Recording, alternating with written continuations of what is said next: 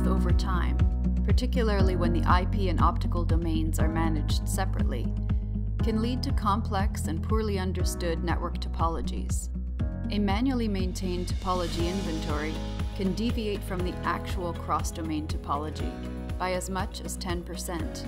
Inventory inaccuracy can cause an increased probability of outages affecting crucial network traffic, complex troubleshooting, and suboptimal latency control, all of which can negatively impact quality of service and quality of experience.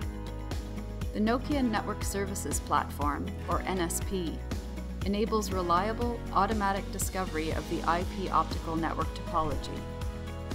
First, the IP layer topology is captured, then the optical topology. Now the complete, accurate topology of the network has been captured.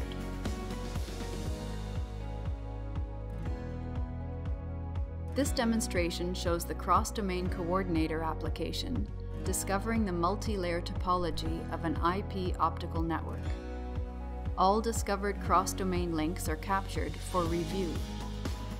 Misconfigurations are highlighted for further analysis and mitigation. For the purposes of this demonstration, we will focus on this part of the network. You can run the discovery algorithm in three different scopes it is possible to carry out the discovery for the entire network, or limit it to just the controller, or even to a single network element.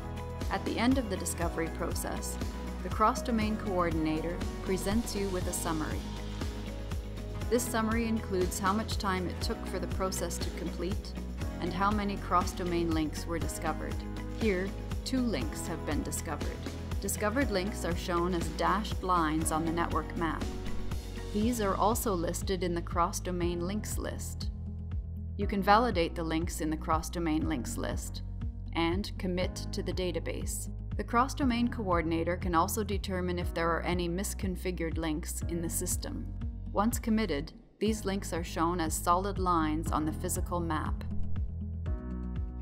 The Cross-Domain Coordinator NSP application can discover the full multi-layer topology of an IP optical network.